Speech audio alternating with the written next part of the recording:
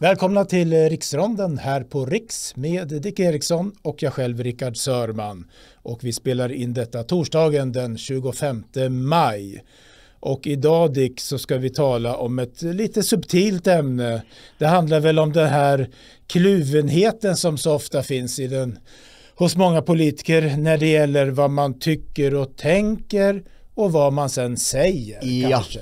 det är ett, eh, jag tycker det är ett mycket djupgående och allvarligt problem ja. och en förklaring till varför vi hamnat så snett ja. är att man inte vågar prata klartext helt enkelt. Ja, och jag tänker också direkt på en gång att det kan ju handla om att det finns saker då som man inte vågar säga för att de är för kontroversiella mm. eller för att det, mm. man tänker att det inte det politiska landskapet eller allmänheten inte är redo att höra det. Men ibland kan det också handla om att man själv inte riktigt har förstått vad det är man egentligen tycker och tänker eller känner. Exakt, och, eller att man har gjort en feltolkning, att man, mm. att man använder ett ord för någonting som inte stämmer utan egentligen handlar om någonting annat. Just det, så det är ganska eh, svårt ämne och den här kluvenheten kan ju finnas på olika plan. Ja. Mellan vad man tänker och vad man säger men också vad man på något sätt innerst inne kanske känner eh, och vad man själv förstå, förmår att analysera. Mm. Så att eh, vi får väl se var vi hamnar någonstans. Jo men vi har ju konkreta eh, exempel som ja. utgångspunkt så det, jag tror att det ska bli,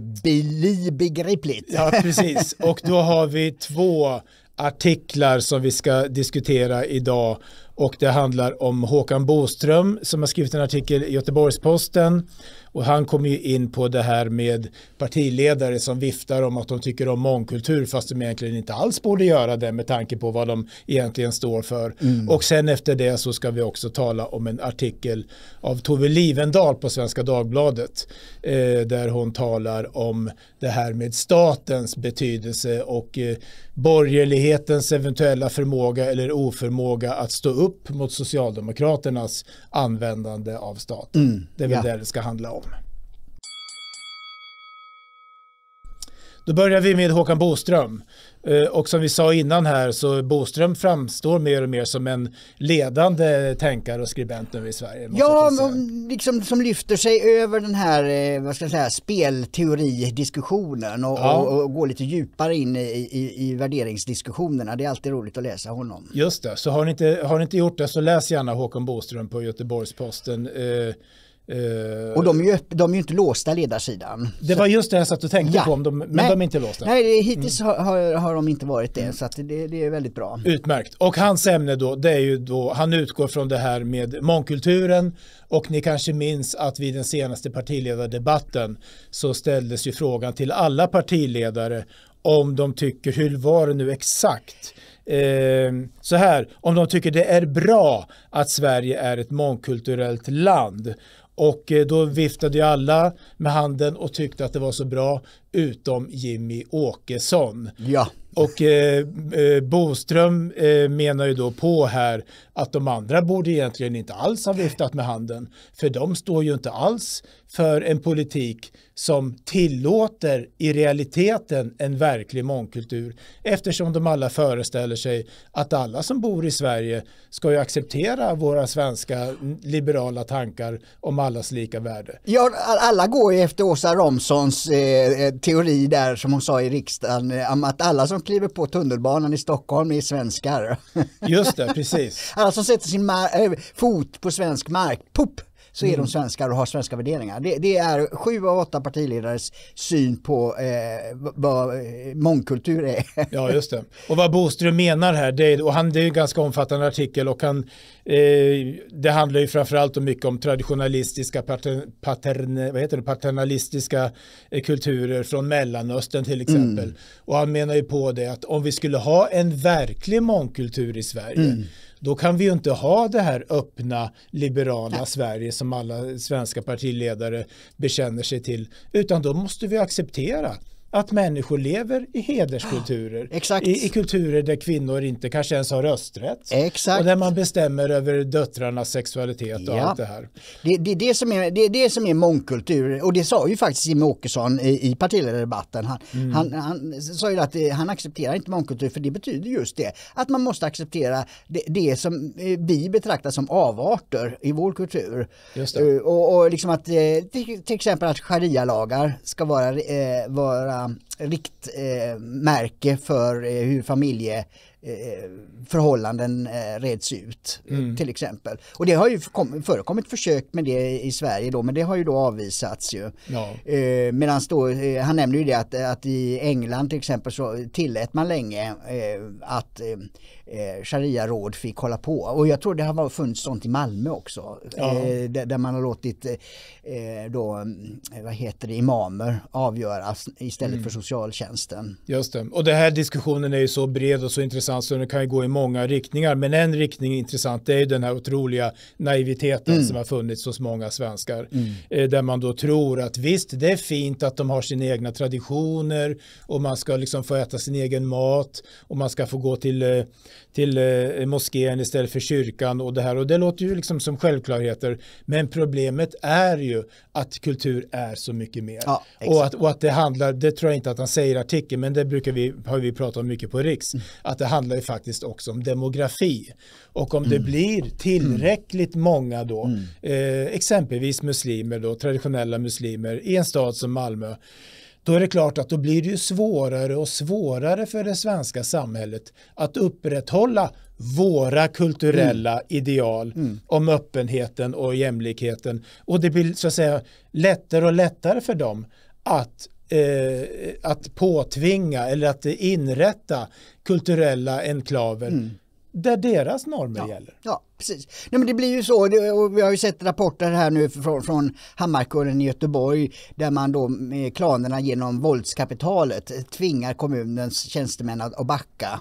Mm. Och, och, gör de inte det så blir de hotade, dödshotade utav klaner som man vet har dödat folk. Liksom. Ja. Eh, på, på det sättet så kan man då tvinga på eh, tvinga sig till makten över samhället och därmed skyffla svensk lagstiftning åt sidan. Mm. Och vad han gör i artikeln i början där, det är då att han gör sig lite rolig över då, eh, partiledarna, då, förutom Jimmie Åkesson faktiskt, eh, eh, när de då sen får eh, möjlighet att motivera eh, sitt, Just det, sitt det är väldigt då. kul. eh, och då så handlar det om att Ulf Kristersson, statsministern då, tydligen sa att mångkultur för honom det handlar om att citat välkomna människor med olika språk och religioner men samtidigt ställa krav på integration då. Och det låter ju väldigt fint. Och vad var det? Mag Magdalena Andersson sa att eh, eh, hon talade om ett öppet och fritt samhälle där inte alla ska stöpas i samma form. Just det, och Nooshi Dadgostar menar att vi inte ska dömas utifrån hudfärg. Ja, det... Och det är de här eh, eh, lite flosklerna som vi brukar höra. Och vad, man då, vad han kanske inte säger just ordagrant eh, Båström, men, men vad vi kan säga nu, det är ju att de här eh, sak, argumenten som de framför, de bottnar ju i en viss kultur. Exakt, jo men han säger det att, mm. att det, det, låter ju inte fel säger han, men det har ingenting med mångkultur att göra. Just det. Exakt, Johan skriver det. Ja. Citat, tvärtom nämner partiledarna olika grundvärden i det moderna, liberala och individualistiska Sverige. Mm. Värden som ofta skulle hamna i konflikt med praktiserandet av verklig mångkultur. Exakt, va? Så, mm. så de säger ju precis motsatsen och rubriken på han, hans eh, ledarkolumn är ju Ni gillar inte mångkultur bara för att ni påstår det. Just det. Och, och det, det, det, är, det, det, det, är en så bra beskrivning av hur svensk debatt är. Va? Alltså mm. man, man påstår saker men man menar dem inte. Och det, det förvirrar ju debatten något otroligt. Ja verkligen och här handlar det väl kanske, alltså det är så svårt att analysera exakt hur människor tänker men det handlar ju om naivitet och eh, ja, jag tycker inte att man ska underskatta faktorn av okunskap. Mm och oförståelse faktiskt. Mm. Eh, för, för det tror man, alltså jag tycker ofta att när man diskuterar politik att då tänker man att politikerna de gör det och det av strategi, de vet vad de får säga, de vet exakt hur långt de får gå och så vidare. Men ibland handlar det faktiskt bara om ren, eh, att man inte har tänkt. Nej, precis, det, det är så. Det, Jag trodde inte att okunskapen skulle kunna vara så utbredd som den är. Men, men eh, och, och, för det har jag också funderat, det är väldigt många eh, eh, svenskar som har bott i utlandet ja. som röstar på Sverigedemokraterna. Det. Och det har jag funderat på. Men jag tror att det beror på, då har man kommit ur bubblan. Ja. Och då ser man det att är man i en annan världsdel till exempel mm. Eh, Asien mm. eller Afrika eller Amerika. Då förstår ja men titta, här, då, då börjar man förstå skillnaden mellan det ja. som är svenskt och där man är, eh, mm. jobbar eller eh, där man är placerad en längre tid. Och då när man kommer hem då säger man, vad i helvete håller de på med? Liksom ja. att eh, mm. det här är Sverige, ja. då, då borde det vara svenskt. Och Sverige är bara ett litet, litet, obetydligt Exakt. land. Eh, mm. Så varför skulle inte det svenska få vara just här? Va? Utan varför ska det vara någon globalistisk eh, eh, plats där allting ska vara närvarande? Va? Mm. Så att det, det, och det tror jag, där sitter sju av åtta partiledningar eh, i den här bubblan och förstår ja. inte. Alltså det var ju någon, ibland brukar man säga i filosofisk diskussion, det är, det är svårt för fisken att eh, inse vad vattnet är för något. Ja, alltså man, är, man är så integrerad i, i ja. Sin egen värld att man se, kan inte tolka den eg, det mm. egna. Mm. Och det är det här storhetsvansinnet också, alltså det här att man tror att Sverige måste vara ett mångkulturellt land eftersom hela världen består av en massa kulturer. Det är den här liksom samma storhetsvansinne som att föreställa sig. Det är klart att vi måste göra allt som vi kan för att rädda klimatet. Mm, just det. Fast mm. våra utsläpp ligger på promillenivå. Ja. De är ju totalt betydelselösa. Ja, det, det, är någonstans samma. Han gör en, en, en intressant grej som han gör det är att han jämför då med tidigare existerande mångkulturella imperier mm. en bit in i texten. Osmanska riket, det, då det gamla turkiska stora riket, Österrike österrikiska Habsburg, brittiska imperiet. Där fanns det ju naturligtvis en mängd olika etniska grupper och det var ju verkligen mångkulturella. Ja. Men de hade ju så att säga fört, de hade ju expanderat krigmässigt då. Men vad, som, vad poängen, vad han vill komma åt här, det är ju då att trots att man hade det formella imperiet, det satt någon brittisk guvernör, vad det nu kan tänkas ha hetat, i nuvarande Indien och så vidare, mm. så var det ju så att det var ju, att mångkulturen var ju en verklighet på så vis att varken turkar eller britter eller några andra gick in och styrde människors vardagsliv. Nej. Han påpekar det just mm. att det, det, det, kulturella ligger ofta på familjenivå. Ja. Det, den närmaste nivån eh, kring medborgarnas liv. Mm. Och där, där är, är, kulturerna väldigt skilda. Och det, det bevisar ju hederskulturen är ju ett exempel på det. Ja, att, eh, att, det rör sig om liksom, eh, döttrar och söner och, och, och heder för, för familjen. Liksom. Mm. Det, handlar inte om politiska avgöranden om hur höga skatterna ska vara. Nej. Och eh, vad man hör ofta från liberaler fortfarande idag, det kommer säkert finnas finnas kvar länge till det är då när man argumenterar för invandring och mångkultur, det är då att man menar, jo men så länge alla följer samma lagar. Mm. Eh, för det hör man ju ofta, jo men vi har våra gemensamma lagar och så länge man följer det så får människor ha vilken kultur de vill. Men han, vad Boström visar här, det är ju det att det är ett otroligt naivt eh, sätt mm. att se på saker och ting. För lagarna reglerar bland annat hur individen, vad individen har för rättigheter och skyldigheter i förhållande till det offentliga. Just som är totalt olika i olika mm. kulturer. Ja. Det reglerar hur föräldrar, eh, vad de har för rättigheter och skyldigheter gentemot sina barn. Ja. Vilket är totalt mm. olika i olika ja. kulturer. Och det är därför man pratar om sharia-lagar. Just det. Därför att de, de är ju tänkta att styra just familjelivet. Och mm. det är därför som också den här kampanjen mot, mot socialtjänsten pågår i muslimska världen nu. Mot svensk socialtjänst, LVU, lagen om vård av unga. Mm. Det, det beror just på att där har de en helt annan eh, utgångspunkt. Det, ja. Där det är eh, imamen som ska avgöra familjetvister och inte staten. Mm. Mm. Och det är därför de kallar det, och, och, och, kan få spridning av det. för att det är ju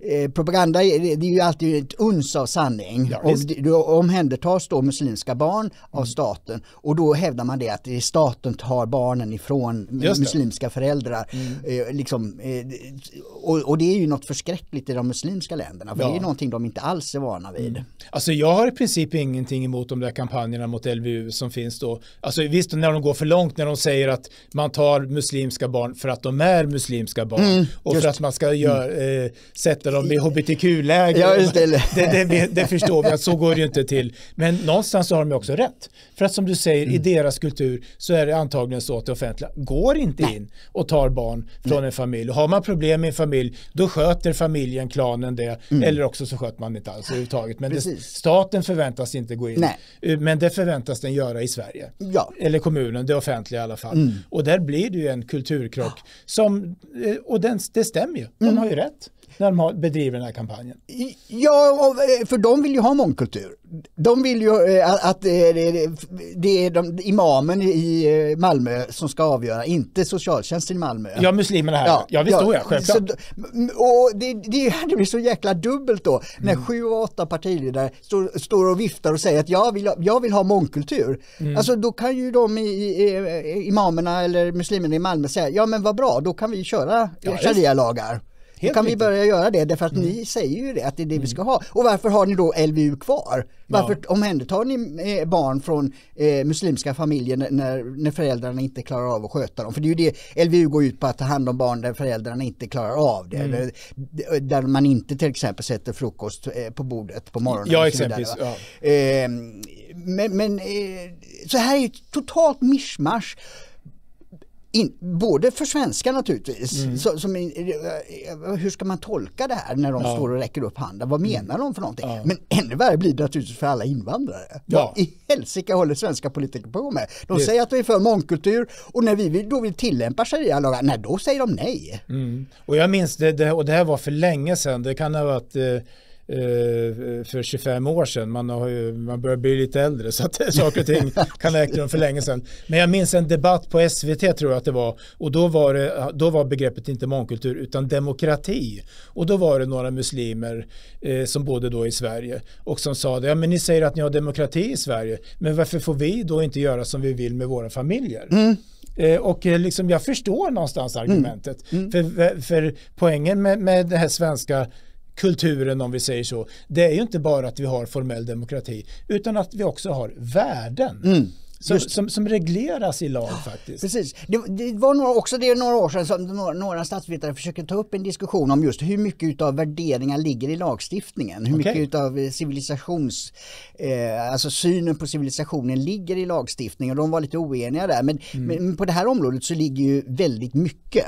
Ja. i att det här är svensk kultur, det är svenska traditioner, seder och bruk som har formaliserats i mm. form av lagstiftning, till exempel LVU. Då. Ja. Och det är utifrån svensk eh, sätt att tänka och det strider ju då mot andra kulturer. Mm. Så att eh, det är väl som sagt ett väldigt bra exempel på en analys som går bortom ja. det här ytliga mm. eh, pratandet och eh, poängen är, och den är intressant och man, kan, man måste ju ge honom rätt, att mångkultur eh, funkar det när det kommer in kulturer som har helt andra värderingar, mm. som ser samhället på ett helt annat sätt än vi själva gör? Svar nej, mm. om vi ska tänka oss att våra värden ska gälla.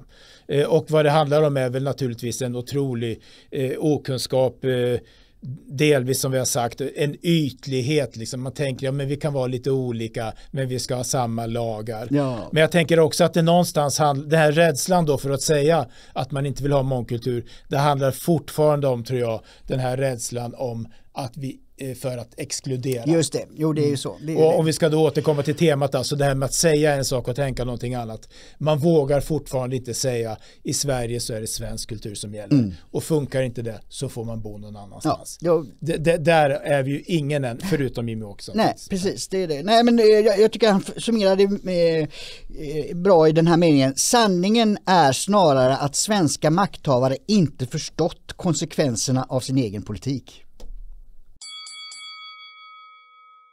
Ja, det var en bra summering av mm. den artikeln och eh, vi har en annan artikel då som är eh, ett annat ämne eh, men som ändå är samma tema någonstans. Det här med att eh, det finns ett glapp liksom mellan det man säger och, och, och, det man gör eller det man tänker och det man mm. säger och så vidare. Och det är ju då eh, Tove Livendal i Svenska Dagbladet eh, och hon skrev en artikel som irriterar mig lite för att den är så nedlåtande mot Sverigedemokraterna. Mm. jo, det, det, det, det, är också lite lustigt där att vissa Eh, eller så här, ju närmare man ligger Sverigedemokraterna i sina värderingar, ja. ju mer måste man markera mot dem om ja, man tillhör moderater eller finkonservativa. Just det, för de finkonservativa, bra ja. För de finkonservativa har ju tyvärr nu tvingats mm. samarbeta just det, just det. med de här vulgära Sverigedemokraterna. Och Tove Livendals poäng då med den här artikeln, eh, det är ju det att, alltså rubriken är äntligen förstår fler faran med staten. Och det handlar ju om det här då att Sverigedemokraterna har börjat visa att de faktiskt vill bedriva sverigedemokratisk politik. Mm. Vilket ju är ganska... det är häpnadsväckande. ja, det är häpnadsväckande. Och vad har man för verktyg då om man sitter och eh, har på, kan, eh, de ingår inte i regering men i regeringsunderlaget. Jo, det är lag, lagstiftning och staten, det offentliga. Och då säger Tove Livendal att nu kanske fler börjar förstå faran med att ha en stark stat. Nämligen, nu kan ju plötsligt Sverigedemokraterna göra om Sverige. Exakt. Det är ungefär så. Mm. Så jag, jag, är lite kluven inför den här artikeln.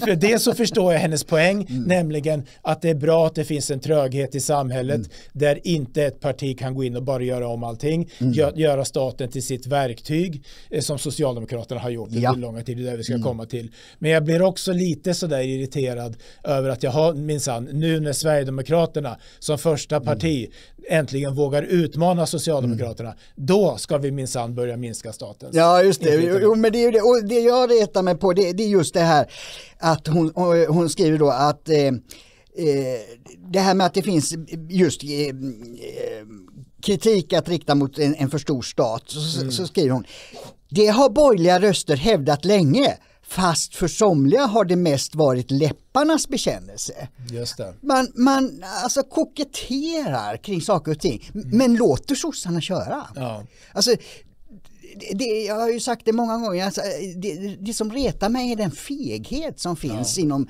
inom borgerliga kretsar där, där, man då ska vara anständig. Och vem är, avgör det? Jo, det avgör Vänsterpartiet, Expo och ja. eh, liksom eh, mm. etc.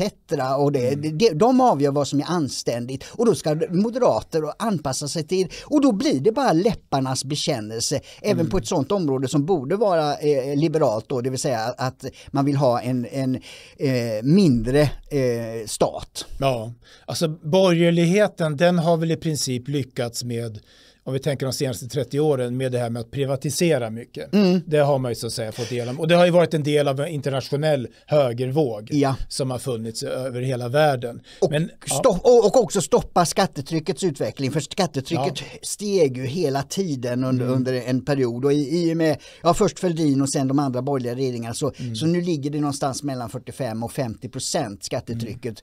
Mm. Alltså, som, alltså den andel av hela ekonomin som går genom statliga beslut. Men var det inte så att Kjell-Olof Feldt redan var inne, eller, för han gjorde en stor skattereform, du kanske inte minns det? Men, jo, men, jo, men nej, det, då handlade det mer om, om, att man skulle förflytta skatten. Ja, exakt. Man skulle inte ta många procent av någon inkomstkälla och mm. få procent på någon annan utan ha en, en, en lägre procentsiffra på mm. allt. Eh, bredda skattebasen heter det på ekonomispråk. Just det. Eh, eh och, och, det gjorde ju skattesystemet effektivare. Så att det, det på, det, för där man har hög skattesats då, då blir det ju en straffskatt. Ja. Mm. Så att man tog bort eh, topparna så att säga. Mm. Men här kluvenheten här då, om det finns någon sån, det är väl eh, det här med att borgarna då, enligt henne här vad hon säger, alltid, om det nu är så, har varnat för, stat, för fara med en stark stat, för då blir människor beroende av det offentliga och staten kan gå in och, eller det offentliga kan gå in och styra mm. över människors liv och det har man då försökt göra motstånd mot men det har bara varit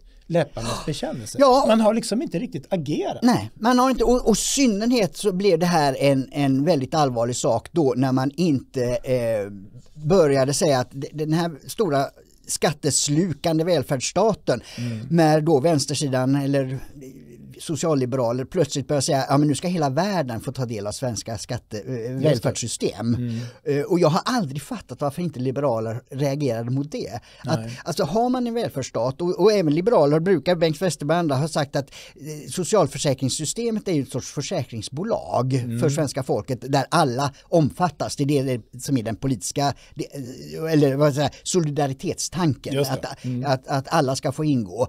Men, men då kan man ju inte släppa in mängder med andra människor. Det, det, så är det i alla eh, försäkringslösningar. Mm. Att, att man måste betala premie. Ja. Annars finns det inga försäkringar att betala ut. Och samma sak i, i välfärdsstaten. Man kan inte släppa in väldigt många människor som kostar väldigt mycket pengar. Då, mm. då, då fallerar hela systemet. Och det, det, det, är inte, också där har liksom liberaler och borgerliga bara haft läpparnas bekännelse. Jo, nej, men det ska ju vara så att man eh, betalar skatt. Eh, mm. Men ändå släppt in människor som inte gör det. Just Här hittar eh, hon ju Daniel Suhonen som sa ja men vi behöver ingen moral, bara alla arbetar och betalar skatt. Ja, men vad tror ord om den där teorin som brukar framföras att Reinfeldt egentligen, Fredrik Reinfeldt, då, för detta statsministern, att han hade som, som bakomliggande agenda att det här med den öppna invandringen skulle slå sönder välfärdsstaten. För det brukar man ju säga, jag tror att det ligger något i det, eller? Ja, alltså, när det gäller, det är därför det är en strid om arbetskraftsinvandring. Ja. Att, att, där var ju tanken, eh, vi hade ju ett tidigt fall, eh, nu kommer jag inte ihåg, det var någon Stockholms kommun här, eh, där det togs in då arbetare från Östeuropa mm. som hade då östeuropeiska löner i Sverige och okay. det blev ju en väldig konflikt om det. Och, och, i den delen så har säkert många moderater tyckt att nej, men här är ett bra sätt att, att pressa ner mm. lönerna på, på sånt som man kan mm. ta hit då. Ehm, och i USA så är det ju en ständig eh, diskussion där att latinos gör ju trädgårdsmästare och eh, alltså alla de här mm. eh, lågavlönade jobben och mm. de, de, har pressats ner. Men nu har ju i senaste statistiken så har ju medelklassen i USA försvunnit eftersom lönerna har pressats ner så mycket så att även sådana som tidigare hade löner ja. som kunde eh, mm. vara medelklass har sjunkit eftersom ja. de har fått så stor invandring. Mm. Så att en del vill naturligtvis eh, pressa ja. ner löner. Alltså överklassen tjänar ju mycket på invandringen. Överklassen ja, vinner just, alltid på överklassen. För, för all, och företagarna och industrin. Precis, mm. men eh, sammanhållningen eh, mm. förlorar så att man kan få pressa ner lönerna men man kanske blir skjuten istället. Och i Sverige så är det ju svenskt näringsliv som fortfarande propagerar mm. för fri arbetskraftsinvandring. Just det, de har protesterat mot de här 26 000 nu att man ska höja kraven från 13 000 till 26 mm. 000 för att mm. ta in en arbetskraftsinvandrare. Mm, ja, visst jag. Och jag blev så förbannad när jag hörde det inslaget eh, då från en näringslivsorganisation. Så, men höj lönen då till 26 000 kronor så kan du importera den här personen. Ja, ja, visst. Utan det är ju för att de vill ha låga löner som de mm. eh, protesterar mot eh, den här regleringen regeringen nu föreslår. Ja, visst. och anledningen till att vi kom in på det här det var ju då att borgarna har ju sagt att det offentligas betydelse ska minska, skattetrycket ska minska, mm. eh, människor ska bli mer fria gentemot det offentliga. Samtidigt så har man öppnat upp för en invandring som påtvingar oss än mer skatte... Mm, alltså, exakt. Det, det var det som var Ja, precis, just det. Mm. det, det men, men då för, för Centerpartiet, mm. de har väl ändå haft åtminstone läpparnas bekännelse av att den här invandringen, den ska inte kosta någonting. Mm. För människor ska bara klara sig själva. Ja. Ja. Men då gäller det också att de vågar stå för det sen. Precis, jag... Inga bidrag, in, inga liksom pengar till papperslösa, Exakt. ingen gratis sjukvård mm. och så vidare. Precis. Då måste de ju stå för det också. Precis, jag tog upp det 2015 med eh, Centerpartiets dåvarande eh, migrationstalesperson. Okay. Ni måste ju välja här, antingen försvarar ni välfärdsstaten så som mm. vi känner den, då måste ni ha starka murar och skydda det systemet.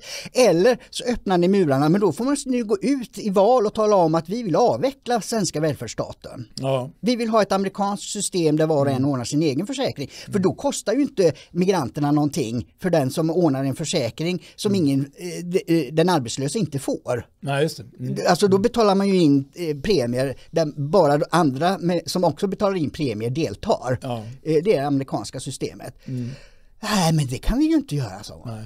Men då, kan, då, måste ni ju stänga gränserna. Ja. Nej, det vill vi inte göra. Alltså, det, det, återigen är, är det liksom att politikerna och här vet politikerna att de, de eh, sabbar hela systemet genom mm. att eh, ha, eh, tillåta invandring men inte då begränsa förmånerna. Ja, just det. Men vad ska vi tänka om hennes grundtes här då? Att eh, att nu så kommer Sverigedemokrat, det kommer ett nytt parti och hon använder ju lite epitet på ja. olika ställen. De är populistiska och, och Björn Söder är vulgär och det är så hemskt och vulgärt alltihopa. Men och att de är nu en fara eftersom de nu har staten i sin hand mm. om vi överdriver. Det är så hon beskriver ja. ungefär. Nej, men jag tycker det är bra att hon erkänner att det här med armlängds avstånd är en bluff. Det tycker mm. jag är bra att hon erkänner. Ja. Det går inte. Är det skattepengar så har svenska folket rätt att få veta vad fan pengarna används till. Ja, det, mm. armlängds avstånd är en bluff. Den ska mm. bort. Det, alla skattepengar är ska, ska de som får dem vara redovisningsskyldiga och tala om vad är det för nytta med de här aktiviteterna och är det inte det så ska de inte ha några pengar. Mm. Det, det, armlängds avstånd är en bluff. Utan, hon menar ju då att det vore ju mycket bättre om man hade ett civilsamhälle där, där man, om man vill ha menskonst så att säga, så, så är man fri att göra det om man betalar det själv. Det. Och det, det, det har jag hävdat i flera debatter med vänstern driver alltid bort debatten mm. från frågan ska det vara skattefinansierat eller inte? Mm. Som ju jag tycker och, och som Tove Livendal menar ju är en huvudfråga. För är det en privat finansierad menskonst då, då har ju ingen eh, någonting emot det. Nej. Den som vill ha en tavla med menskonst hemma i väggen och betala 100 000 för ja. det får väl göra det. Det är inget problem, inget problem alls. Eh, men den ska inte vara i tunnelbanan Nej. på skattebetalarnas bekostnad. Och, men den debatten vill vänstern försöka dölja ja. och säga att det handlar om frihet. Just det. Och, det, det, och det tycker jag är bra att då, då en moderat debattör eh, eh sätter ner foten där och säger mm. att det är mm. bättre att sånt här sker på frivillig basis och inte med skattepengar. Och det är där jag menar att att koalitionen mellan moderater och sverigedemokrater är, är stark därför att moderaterna vill ha lägre skatter ja. och sverigedemokraterna vill inte finansiera massa skit. Nej, och då exakt. är det bara att ta bort de bidragen. Då, mm. går, det, då går det både eh, liberalkonservativa och socialkonservativas ärenden så att säga. Då fungerar det. Men då måste man våga gå från läpparnas bekännelse till handling. Exakt! Och när nu då Sverigedemokraterna börjar föreslå lite action här, eh, det handlar bland annat om diskussioner om kultur, armlängds mm. avstånd och sen har vi haft, haft det här med universitetsstyrelserna, mm. men det vet jag inte, och det kanske även andra än Sverigedemokraterna har varit aktiva i den debatten, från regeringen till exempel. Och sen så handlar, har det handlat mycket om eh, myndighetschefer. Mm. Eh, och då har ju liksom hela tiden diskussionen varit att nu går, eh, vi får politikerstyre, Sverigedemokraterna mm. går in och styr. Och vad har vi haft hittills då? ja, ja, det är en annan diskussion, precis. Men, då, men för vad jag tänkte först då när jag såg den här artikeln, när jag läste den, det är ändå det här, ja visst, men vi kan inte ha ett system i Sverige där vi har olika eliter på universiteten, inom kulturen, på myndigheterna som är frigjorda från den demokratiska kontrollen. Nej, så, så, kan vi inte heller ha, om det är skattefinansierat. Exakt. Så säga. Nej, det är där hon blir lite förvirrande för hon säger mm. att det ska vara ett kapital som eh, universiteten ska leva på. Just det. Eh, som är fristående staten, men var ska det kapitalet komma ifrån undrar jag då? Ja, visst. Och är det staten då är det eh, politiken som ska ha mm. sista ordet. Ja exakt, mm. det, det, tycker jag är viktigt här alltså, mm. för att det, det, det, är ändå så nu att det offentliga har en stor betydelse i Sverige. Vi har ett högt skattetryck. Mm. Vi har inte mycket till civilsamhälle. Nej. Och då är det så att det är politikerna som bestämmer över det här. Ja. Och är det så att folket röstar fram en ny regering med en ny eh, inriktning, då måste det också synas ja, ja. i det här som människor mm. betalar mm. för. Mm. Annars är det ett, ett demokratiproblem. Ja, absolut. Precis. Så det, att det är inte så att Sverigedemokraterna ur det här perspektivet skulle vara ett hot mot demokratin, utan det är ett tecken på att demokratin fungerar att man nu börjar utmana myndighetschefer, universitet och kulturlivet. Ja, eh, exakt. För det, det, jag ser det som att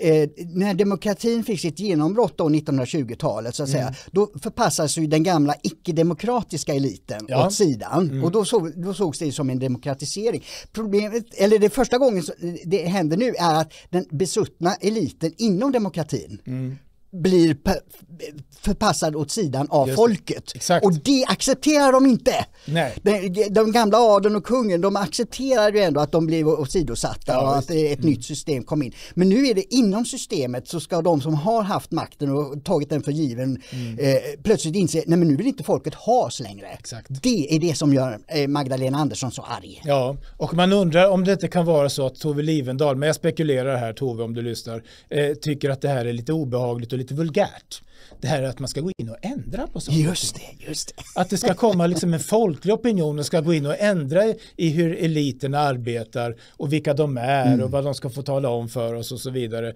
Och där så tycker jag kanske att Moderaterna eh, har en del jobb att göra när det gäller kluvenheten mellan läpparnas bekännelse mm. och handling. Våga utmana den här socialdemokratiska samhällseliten. Exakt, och, Moderaterna har ju gjort det en gång. Det är därför jag har ändå lite hopp. Alltså jag kommer ihåg Gösta Bohman-moderaterna. Mm. Gösta Bohman körde med sossarna så att de var alldeles vansinniga. Ja.